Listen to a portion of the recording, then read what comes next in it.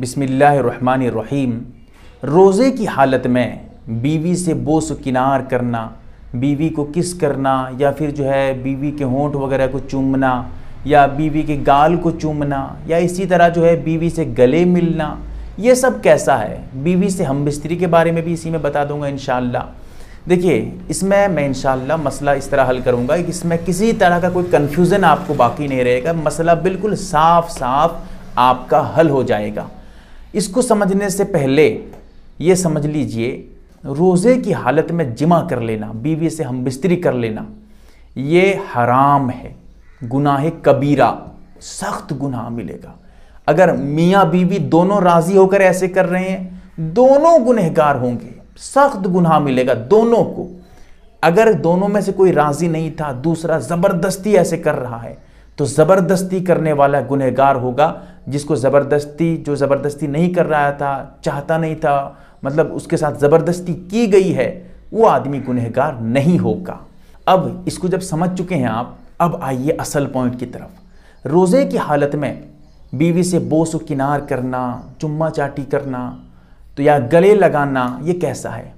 یہ اگر جوان آدمی ہے، اس کو یقین ہے کہ بھائی میں ہم بستری تک جاؤں گا نہیں، میں تو بس ایسے ہی بیوی کو خوش کرنے کے لیے پیار محبت سے ایسے ہی کر دیتا ہوں۔ اس کو یقین ہے، ہم بستری تک بات پہنچے گی نہیں، میں بھی جاؤں گا نہیں، بیوی بھی جائے گی نہیں۔ اس میں کیا ہوتا ہے، ایک مسئلہ یہاں بیچ میں آپ کو ذرا بتا دوں۔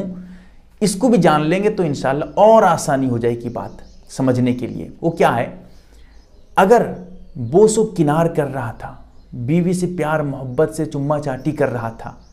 اب منی خارج ہو گئی۔ انزال ہو گیا۔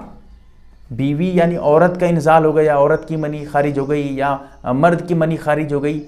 جس کی بھی منی خارج ہو جائے گی، اس طرح چمہ چاٹی کرتے ہوئے، کس وغیرہ کرتے ہوئے، تو اس صورت میں جس کی منی خارج ہوگی، اس کا روزہ بھی ٹوٹ گیا۔ ہاں اتنا ہے۔ اگر ہم بستری نہیں کیے ہیں، جمع نہیں، صحبت نہیں کیے ہیں، کفارہ لازم نہیں ہوگا، لیکن روزہ ٹوٹ گیا۔ لیکن یہاں یہ سمجھ لیجیے، اگر صرف چمہ چاٹی کیا تھا، کس وغیرہ کیا تھا، گلے لگایا تھا، لیکن منی خارج نہیں ہوئی، اس سے کیا ہوگا؟ روزہ ٹوٹے گا نہیں۔ ٹھیک ہے، جہاں تک ٹوٹنے کی بات ہے۔ لیکن یہاں اندر جب ہم آئیں گے مسئلے کے، وہاں سمجھنے کا ہے۔ اگر اس کو شبہ ہے کہ میں اس طرح کروں گا تو مجھے ڈر ہے کہ میں ہم بستری تک پہنچ جاؤں یا پھر بیوی کو جو ہے سہوت ہونے کی زیادہ ہو جائے گی، جس کی وجہ سے پھر بیوی کو انزال ہو جائے گا، بیوی کا روزہ برباد ہو جائے گا، یا پھر اس طرح کوئی خوف ہو۔ دونوں کو اگر یقین ہے، کوئی بات نہیں ہے۔ اس طرح پیار محبت سے اس طرح کر سکتے ہیں۔ بلا کراہت ایسا کرنا مکروبی نہیں ہوگا، جوانوں کے لیے بھی۔ لیکن عام طور پہ جوان کہاں کنٹرول کر سکتے ہیں؟ اس طرح کرتے ہوئے وہ تو ہم بستری تک پہنچ جائیں گے۔ اگر ہم بستری تک نہ بھی پہنچے ڈرتے ڈرتے، انزال ہو جائے گا، منی خارج ہو جائے گی، تو روزہ ہی تو چلا گیا ان کا۔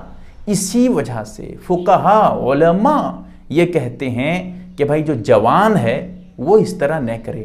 ایسا بھی نہیں ہے کہ بیوی سے دور دور رہے۔ بیوی کے پاس بیٹھ سکتا ہے، بیوی سے بات کر سکتا ہے۔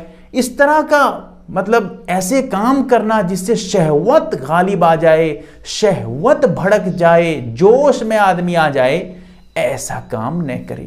اسی لیے نوجوانوں کے لیے علماء مطلقاً مکروح کہتے ہیں۔ لیکن صحیح مسئلہ یہ ہے، اگر کوئی جوان ایسے ہے جو یقین ہو جائے، جو میں نے بتایا ابھی کہ دونوں کو یقین ہو، تو وہ ایسے کر سکتے ہیں، پیار محبت سے کوئی بات نہیں، ان کے لیے بھی مکرو نہیں ہے، ورنہ پھر مکرو ہے۔ اور کب روزہ ٹوٹے گا، کب مکرو ہے، کب روزہ نہیں ٹوٹے گا، یہ تینوں مسئلہ حل کر چکا ہوں۔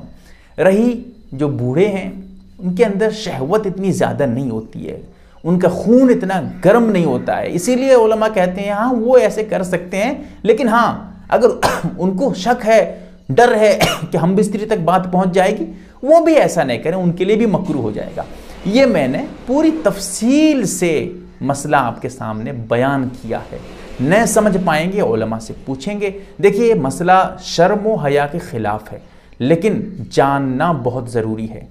یاد رکھیے گا، اسلام میں شرم و حیا مسئلے مسائل میں یہ آپ کو برباد کر دے گا۔ کچھ علماء ایسے ہوتے ہیں وہ شرم کرتے ہیں مسئلہ بیان کرنے سے۔ یاد رکھیے، بہت غلط ہے۔ قرآن نے شرم و حیا کے مسائل کو بھی کھول کھول کر بیان کیا ہے۔ کیوں؟ ارے، جب بیان نہیں کرو گے تو عوام جانے گی کیسے؟ لوگوں کو پتہ کیسے چلے گا؟ لوگ جانتے نہیں ہیں، غلط کام میں، ناجائز کام میں لگے ہوئے ہیں۔ اگر شرم کی بات ہے تو ٹھیک ہے، شرم کی بات ہے، لیکن جاننا تو ضروری ہے۔